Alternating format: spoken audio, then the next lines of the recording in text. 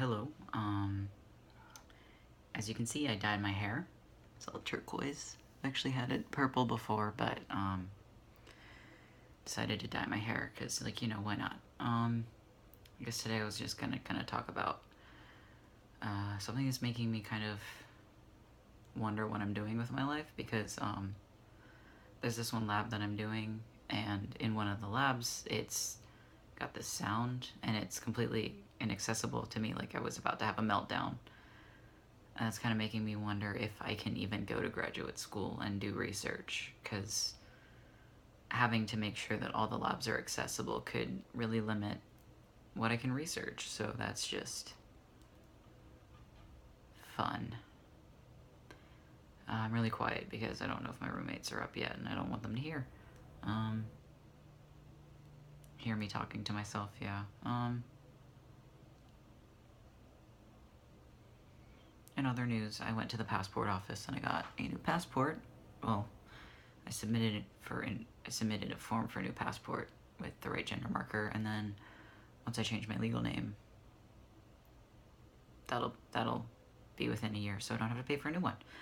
Um, me and the lady at the office bonded over our disabilities. She, she was like, um, she was like talking to me, and I was like, "Wait, are you talking to me?" Because like she hadn't, I wasn't sure if she'd called me into her office or not. And I was like, I was like, "Are you talking to me?" And she was like, "Yeah, sorry. Sometimes I talk to myself." And I was like, "No, I have a, I have a auditory processing disability," and it's like, I can't always tell when people are talking what they're saying and if they're talking to me. And she's like, "Oh yeah, I totally get that." I'm just like sick. I hate I hate it when people dictate like their names to me over the phone, and I'm just like dying. So yeah, we we bonded over over our respective disabilities, and she was, um, and she was like totally cool about the gender marker thing. She was like, "You did your research, knowing that you can like get a new passport within a year if you change your name, and it's within a year, and you're just updating information. You don't have to pay for another one." She was like, "You seem like you've dig- dug around on the State Department, so I probably don't need to tell you how to track the status of your application." I was like. I can look that up, thinking to myself, I can look that up. I have not found that, but I can probably look that up. So, like, yeah, that went pretty well. My picture is a work of art. Let me see if I can find it.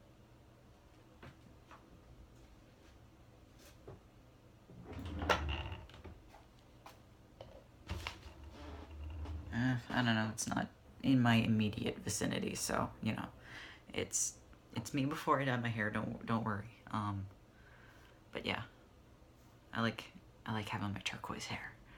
Uh, so yeah, that's uh, that's what's happened this week.